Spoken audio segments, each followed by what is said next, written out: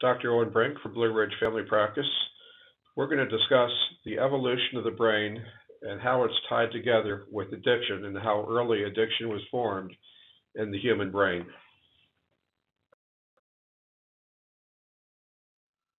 Let's start with a review of the major anatomical brain structures involved in the disease of addiction. This is the brain, sliced in half from top to bottom, dividing the right and left sides. This is the view of the inside or medial aspect of the right part of the brain. Here you can see where the spinal cord would be. It comes up to the middle oblong where the medulla oblongata, and then into the pons with its two connections to the cerebellum and what is called the arbor vitae or the tree of life structure right in here.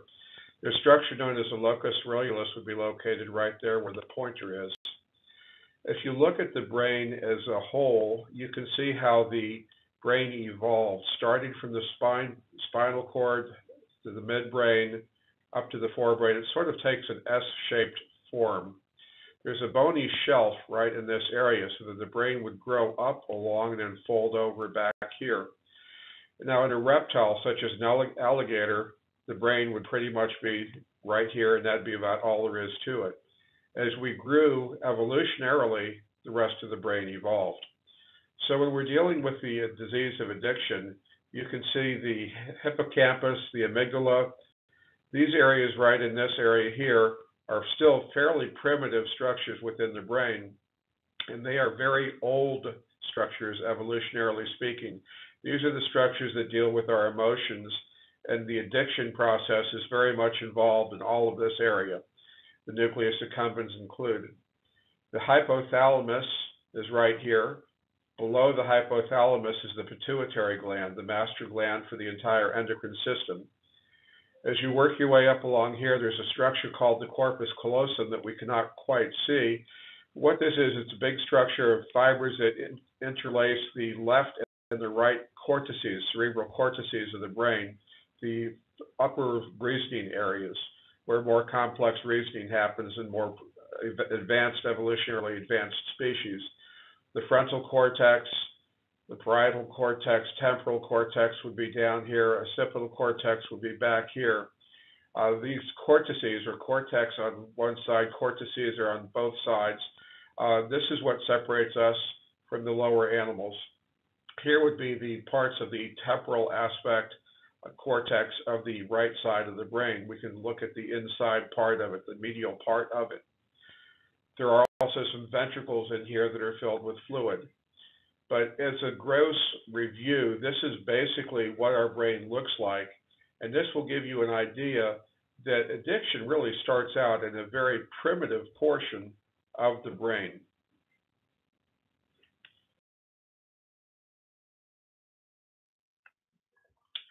Just to give you a review of the neighborhood on a gross or large scale of the brain structure, which by definition is neuroanatomy, the review of the anatomical terms we're talking about. Superior means toward the top or above. Inferior toward the bottom or below. Anterior would be to the front. Posterior would be toward the rear.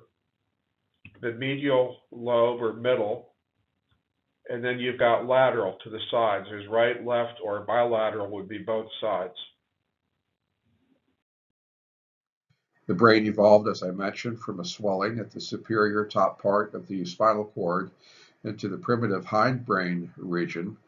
With further development, of the brain would occur in the anterior superior manner that I described earlier. Folding would become necessary to fit it within the bony confines of the skull.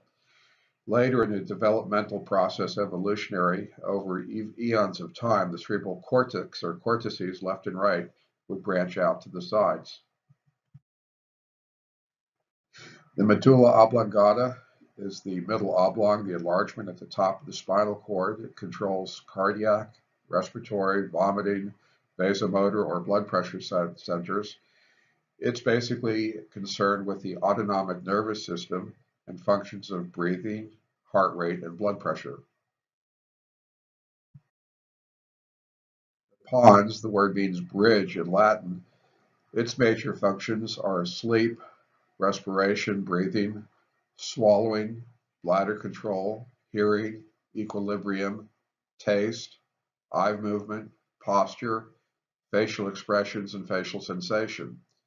It connects to the cerebellum for motor coordination and other functions. The locus coeruleus is between the pons and the cerebellum. There are many changes in this part of the brain that happen uh, with those prone to addiction. These changes are passed along genetically.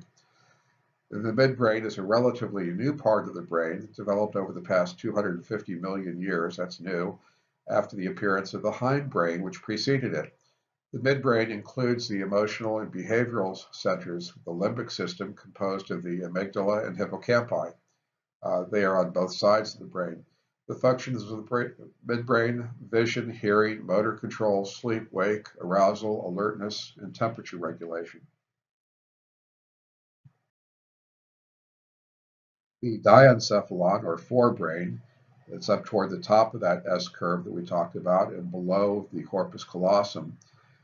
This is still considered somewhat primitive brain because the cerebral cortex has not yet been reached. That's the home of the higher intelligent functions. The diencephalon contains the thalamus, which can be thought of as a router or switchboard where a lot of information passes through the thalamus to other parts of the brain. The hypothalamus, which connects to the pituitary, the pituitary, which controls all the endocrine system, hormones all over the body, and the basal ganglia, which are again part of the switchboard apparatus. They're located below and to the front of the forebrain. Uh, the basal ganglia and diencephalon in full control voluntary motor movements, procedural learning, things that we do like by hand tying our shoes, routine behaviors or habits are formed in this part of the brain, eye movements, cognition or thinking, and emotion. As you can see then, habits happen in a very primitive part of the brain, relatively speaking.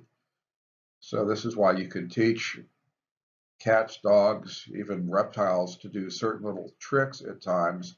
It doesn't require the higher brain functions to get into the habit of doing certain things on certain stimuli. Unfortunately, addiction is thus a very deeply rooted part of our behaviors and brain.